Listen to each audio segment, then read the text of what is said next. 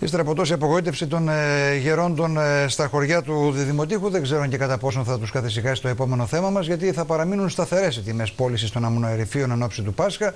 Ωστόσο, το γιορτινό τραπέζι απαιτεί την αγορά αρνιού ή κατσικιού, το οποίο η τιμή πώλησης φέτος θα διαμορφωθεί στα ίδια επίπεδα με πέρσι. Όπως δήλωσε πάντως ο πρόεδρος των Κρεοπολών Αλεξανδρούπολης Ευστάθιος Ευσταθίου, οι καταναλωτές προς το παρόν περιορίζονται στο να κάνουν τις παραγγελίες τους. Σύμφωνα πάντως με τα πρώτα στοιχεία των ε, εμπόρων, οι καταναλωτές αναμένεται να αγοράσουν τα απαραίτητα, αλλά σε πολύ μικρότερες ποσότητες πια. Επάρκεια σε αμνοερήφια παρουσιάζουν τα κρεοπολία της Αλεξανδρούπολης. Οι κρεοπόλες ετοιμάζονται για να υποδεχτούν τους καταναλωτές που παρά την οικονομική στενότητα που έχουν περιέλθει θα ψήσουν και φέτος τον οβελία τους. Η τιμή του αρνιού δεν θα ξεπεράσει τα 9 ευρώ και η τιμή του κατσικιού δεν θα ξεπεράσει τα 10 ευρώ σύμφωνα με τον κύριο Ευσταθίου. Το αρνί δεν θα ξεπεράσει τα 9 ευρώ στα συνοικιακά κρεοπολία ε, και στο κατσίκι δεν θα ξεπεράσει τα 10 ευρώ. Υπάρχει μια διαφορά είναι από τους παραγωγούς και έτσι γίνεται και κάθε χρόνο φυσικά.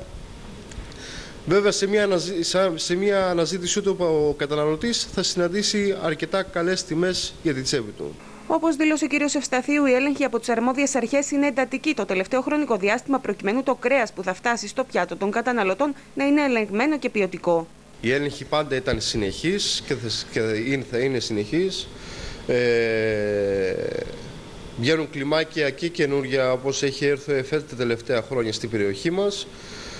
Ε, η κτηνιατρική υπηρεσία, η εποπτεία εμπορίου, ο ΕΛΟΓΑΚ, θα είναι επικαθημερινής βάσεως στα μαγαζιά μας. Οι καταναλωτές, σύμφωνα με τον κύριο Ευσταθίου, σε σχέση με τα προηγούμενα χρόνια έχουν περιορίσει τις αγορές κρεάτων και ψωνίζουν μόνο τα απαραίτητα και αυτά με μέτρο. Υπάρχει μείωση, σίγουρα, γύρω στο 30% από ό,τι έχω καταλάβει από πέρσι. Ε, όχι στο ότι δεν έρχονται στο κατάστημα στα παραδοσιακά αγροπολία ο κόσμος. Ε, έχουμε πρόβλημα, αν θα το έθετες πρόβλημα, κρίση έχουμε, στο, στην ποσότητα.